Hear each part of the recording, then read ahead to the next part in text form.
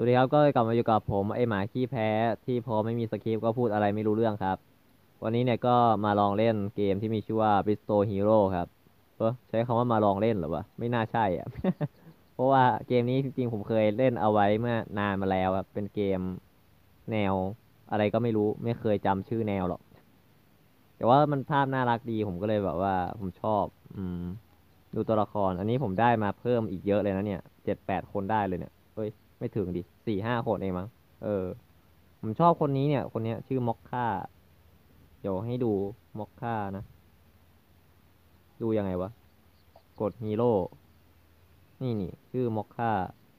เป็นสาวแว่นนะ ผมชอบมันมี skin หนึ่งเป็น skin ที่อยู่ในอีเวนต์ช่วงนี้พอดีเลยนะครับ นี่เป็น skin ประธานชมรมวิทยาศาสตร์นะ นี่สาวแว่นสาวแว่น นี่มันมีให้โชว์อย่างนี้ด้วยนะ น่ารักปะในเกมมันซูมไม่ได้นะ เพราะฉะนั้นเดี๋ยวตอนอันนั้นผมจะซูมให้แล้วกันตอนตัด มันดูท่าโพสท่าอะไรนาได้ด้วยนะ มีแบบเดินธรรมดาเดาะแดะเดาะแดะ มีอันนี้กำลังทำอะไรวะเนี่ย เตรียมชาร์จเหรอเนี่ย อันนี้กำลังวิ่งนะ เอามีให้ดูแค่นี้เหรอ อืม ใช่ คือมันเป็น skin ที่มีในช่วงนี้พอดีนะครับ เป็น event hero high school ใช่ มันจะสุ่มฟรีวันละครั้งนะครับ แล้วก็ ถ้าเรามีเพชรเราก็ใช้เพชรในการสุ่มได้ แต่มันจะใช้แปดร้อยเพชรในการสุ่มครั้งหนึ่งนะ หรือถ้าเราไม่มีเพชรเนี่ย เราก็จะใช้เอสตรงดาวตรงนี้ได้ครับ ก็มันจะอยู่ตรงนี้นะ ซื้อตรงนี้ได้ มันจะใช้พันหกร้อยดาวในการซื้อสกินนะครับ อืม ซึ่งผมเหลือขาดอีกแค่สี่สิบเองอะ่ะเอ้ยนี่ผมพูดไปเสียงมันเข้าหรือเปล่าเนี่ยฮัลโหล เอาเป็นว่าเดี๋ยวมาลองเล่นกันสักตาสองตาแล้วกัน อ๋อเดี๋ยวก่อนลองเล่นมันมีโหมดอันนี้ด้วยนะครับ มันโหมดเป็นโหมดตกปลา ผมเพิ่งรู้ว่ามันมีโหมดตกปลาด้วยเว้ย นี่เนี่ยมันก็เป็นเกมที่แบบชิวๆนะ ไม่ต้องอะไรมากนะครับ นี่พอปลามาเราก็แค่กดกดย้ำๆ เดี๋ยวปลาก็เข้าขึ้นมา นี่เห็นไหมเออถามว่ามันได้อะไรผมก็ไม่รู้เหมือนกัน น่าจะได้ปลาเนี่ยแหละนะหลบมันได้ได้แค่นั้นเหรอวะนี่ อันนี้ปลาอะไร butterfish ปลาเนยเหรอวะ butter แปลว่าเนยปะเออแค่นี้แล้วกันส่วนตกปลาก็ประมาณนี้แหละมันไม่ได้มีอะไรเยอะขนาดนั้นนะนอกจากนี้มันจะมีเป็นโหมด dungeon ด้วยนะอ่า โหมด dungeon เนี่ยจะมีหลายแบบนะ แต่ตอนนี้ที่ผมปลดล็อกได้จะมี daily dungeon กับ Ancient Relic Site นะ ซึ่งสองอย่างนี้เนี่ยจะเอามาใช้ในการอัพตัวละครเนี่ยแหละ ใช่ อัพพวก stat อะไรอย่างนี้ เดี๋ยวจะลองเล่น daily dungeon ให้ดูแล้วกันว่าเป็นยังไงนะ เอ่อ อันนี้ มันมีบอกด้วยนะว่าตัวละครตัวไหนเหมาะกับการเล่นด่านไหนนะ เออ ก็ลองดูดีๆแล้วกัน จะได้ปรับถูกนะนะเพราะว่าแต่ละ ตัวละครเนี่ยมันก็จะมี skill ที่ไม่เหมือนกันนะ นี่มาแล้วนี่นี่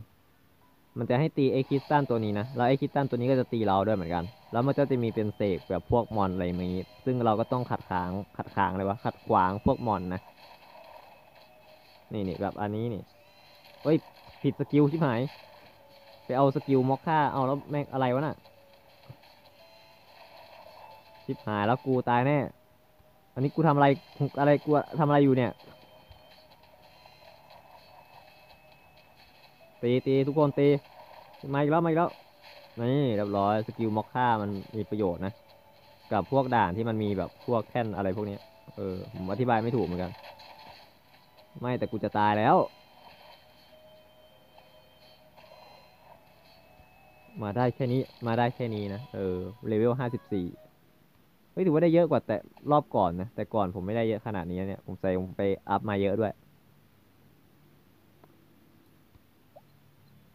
นี่มี quest เสร็จด้วยนะ เป็น quest ไม่ใช่ quest สิ มันเป็นแบบเขาเรียกว่าอะไร achievement อะ achievement แปลว่าอะไรวะ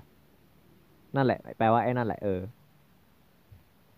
คือมันเหมือนเข้าใจนะว่ามันคืออะไรแต่ไม่ค่อยเข้าใจว่ามันคืออะไร เออแล้วสรุปกูเข้าใจหรือไม่เข้าใจกันแน่วะ อ๋อใช่แต่เกมนี้จริง ๆ หลัก ๆ มันคือการไปลงด่านเนื้อเรื่องนะ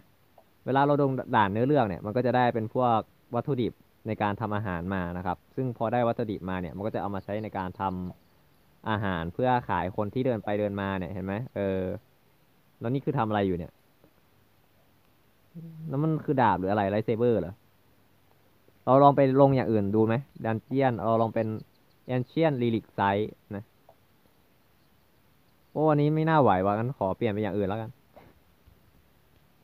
ไปด่านเนื้อเรื่อง ด่านเนื้อเรื่องเราเล่นด่านไหนดี เราเล่นด่านไหนดีวะเออด่านไหนดี เอานี่เอาที่มันดูมีความท้าทายหน่อยแล้วกัน ถ้าชนะเจ็ดขีดหนึ่งเนี่ย รู้สึกว่ามันจะปลดตัวละครใหม่ด้วยนะ เดี๋ยวมาดูกันว่าจะผ่านหรือเปล่า มันมีตัวละคร มันไม่มีตัวละครเหมาะกับด่านนี้เลยเหรอ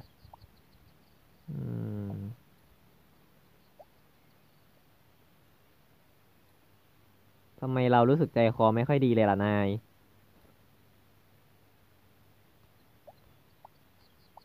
นายคงแค่คุณรู้สึกไปเองมั้ง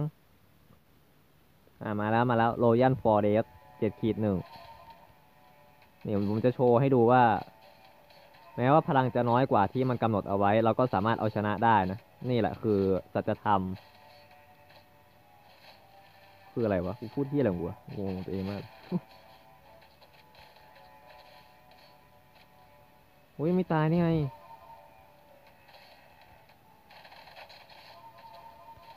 นี่ล็อกล็อก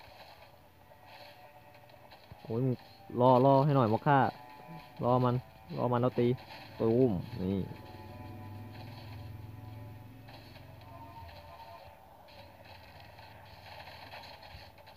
นี่เป็นไง ผมบอกแล้วมันไม่ มันไม่ มันไม่จำเป็นว่าพลังจะเยอะหรือน้อย มันขึ้นอยู่กับว่า กูก็ไม่กล้าอวยตัวเองไงเออเดี๋ยวคนด่า มันมีเนื้อเรื่องด้วยนะแต่ละด่านอะไรเงี้ยเออมันมีเนื้อเรื่องด้วย เอาไว้ว่างๆมานั่งแปลเล่นดีกว่าจะแปลเฮียนักหนาวะแม่งอุ้ยนี่ไงได้ตัวละครใหม่แล้ว มีชื่อว่าเอแครไอชื่อตัวละครในเกมนี้มันเหมือนมันได้ชื่อมาจากอาหารเยอะเลยนะ อันนี้คืออะไรอะ Are you enjoying the game อ๋อ อันนี้มันให้เราไปให้ดาวปะ เออเดี๋ยวเอาไว้คราวหลังแล้วกันนะจ๊ะ เดี๋ยวไปให้ห้าดาวอยู่แล้วล่ะ นี่ได้เจ็ดขีดหนึ่ง quest main เป็น main quest นะ แล้วก็ถ้าเกิดว่าเราเคลียร์เจ็ดขีดห้าเนี่ย มันจะได้เป็น skin ใหม่ของเอแคลร์ด้วยนะ ใช่ เดี๋ยวให้ดูตัวละครแต่ละตัว ผมไม่แน่ใจว่าไอไอรันเนี่ยมันเป็นชื่ออาหารหรือเปล่านะ อันนี้ ชื่ออ่านยังไงวะเนี่ยคอกอแวงเลยภาษาอะไรวะฝรั่งเศสแล้วเนี่ย โอ้ ฝนดูฝน อ่าโอเค แสดงว่าฝนน่าจะดูอะไรอยู่ลิมูลิมูอันนี้มันมันพระเอกในไอ้นี่ปะพระเอกในไออะไรสลามสลามสลามอะไรสักอย่างปะอ่าอันนี้ก็ฮอทดอกนะชื่อแม่งแบบ อันนี้เอสเปรสโซ่นะ เป็นกาแฟปะเอสเปรสโซ่แล้วก็มีมอคค่านะ แล้วก็เอแคลร์ที่เหลือยังไม่ได้ปลดนะ มันต้องเล่นให้ถึงด่านนั้นก่อน โอ้แล้วก็ไอที่อัพ ที่ได้คริสตัลมาก็จะอัพตรงนี้นะ มันก็จะอดอัพ เวลาอัพไปถึงขั้นที่มันกำหนดเนี่ย มันก็จะได้เป็นเหมือนแบบ buff เพิ่มเติมมานะ ส่วนไอเศษ relic เนี่ย มันจะมาอัพตรงนี้นะ กดที่อัปเกรด แล้วก็จะมีคำว่า relic ตรงนี้นะ นี่มันก็จะมีให้อัพเป็นเหมือนแบบ buff เหมือนกัน เออ ก็จะมีแบบเป็นโจมตีพื้นฐานเร็วขึ้นกี่เปอร์เซ็นต์ เป็นแบบ basic damage พื้นฐานจะแรงขึ้นสองเท่า แต่จะมีโอกาสออกหกเปอร์เซ็นต์หรือจะมีแบบ รีเลือดทุก ๆ กี่วิ กี่เปอร์เซ็นต์อะไรอย่างนี้นะมันจะประมาณแบบ เออมันเหมือน buff นั่นแหละ เออ passive ติดตัวตัวละครอะไรเงี้ย ใช่ ต้องพยายามพูดไปเยอะๆก่อน มั่วแค่ไหนก็ช่างมันแล้วกัน เออ แต่คลิปต้องยาวไว้ก่อน ตอนนี้กี่นาทีแล้วเนี่ย เฮ้ยสิบกว่านาทีแล้ว ขออีกนิดนึงแล้วกัน ขออีกนิดนึง มันมีอะไรให้พูดอีกไหมวะ ผมก็ไม่รู้เหมือนกัน อันนี้ผมจัดเป็นแบบไอ้นี่ไว้ด้วยนะ เป็นแบบบ้านเอาไว้ ใช่ เออ คือ คือผมต้องทำคลิปลงอะ เพราะว่าผมรู้สึกว่าช่วงนี้ผมทิ้งช่องตัวเองเยอะเกินไปละ มัวแต่ไปติดเมติด เออ ติด อันนั้นไม่ได้ติดหรอก เออ มัน แต่มันก็ มัน มันแค่ชอบดูเฉยๆ แต่ว่ามันไม่ได้ติดนะนะ เราต้องทำอะไรต่อ เราควรทำอะไรต่อ อ๋อ ใช่ มันจะมีอันนี้ด้วยนะ คือถ้าเราขี้เกียจลงด่าเนี่ย มันจะมีเขาเรียกว่า exploration นะ ก็คือกดใช้ เพื่ออซื้อ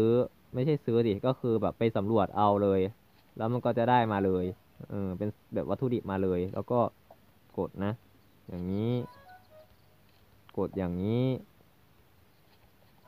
แบบว่าเราขาดวัตถุดิบอันไหนก็กด export มันก็จะได้ทันทีไม่ต้องลงไปไปลงด่านแบบเมื่อเสียเวลาอะไรอย่างนี้นะ พูดเนี่ยเข้าใจหรือเปล่าฮะ ถ้าไม่เข้าใจก็บอกมานะ ไม่ใช่ว่าแบบเงียบๆไปอย่างนั้นนะบางทีเราก็ต้องคุยกันให้มันรู้เรื่องเข้าใจปะให้กูคนคุยคนเดียวเหมือนคนบ้า มึงบ้าหรือเปล่าเนี่ย เออก็อะไรอะอ๋อนี่มันจะมีแชร์อันนี้ด้วยนะ แชร์ไปที่ Facebook กับ Twitter นะ จะได้เป็นแบบ เอ่อ เพจมาร้อยอันนะ แต่ผมยังไม่ได้แชร์เลย อ่า แล้วพอแบบมากดไอ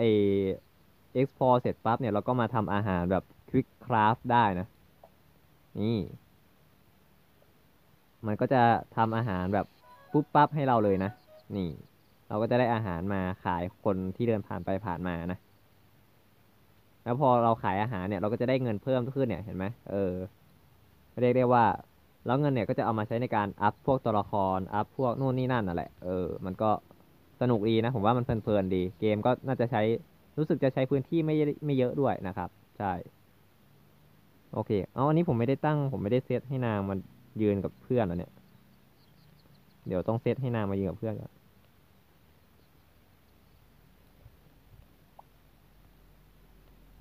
ขยับมาอีกนิดได้ไหมเผื่อแอคชั่นนางมันเยอะ นี่ อันนี้ยกดาบยกดาบ เปลี่ยนมีท่าอื่นไหมลูก ไม่ไม่เอายกดาบเอาท่าอื่นโอ้นี่คือท่าคำนับเหรอหรืออะไร เอามีท่าอื่นอีกไหมอ๋อมีแค่นี้เหรอลูก โอเคครับ เข้าใจแล้วเอแคร์มีแค่นี้นะ โอเค ไม่กวนละไม่กวนละโอเคคลาสนี้ประมาณนี้แล้วกันครับ ไม่ได้หาอะไรทั้งนั้นแหละไปละบายบายจ้ะ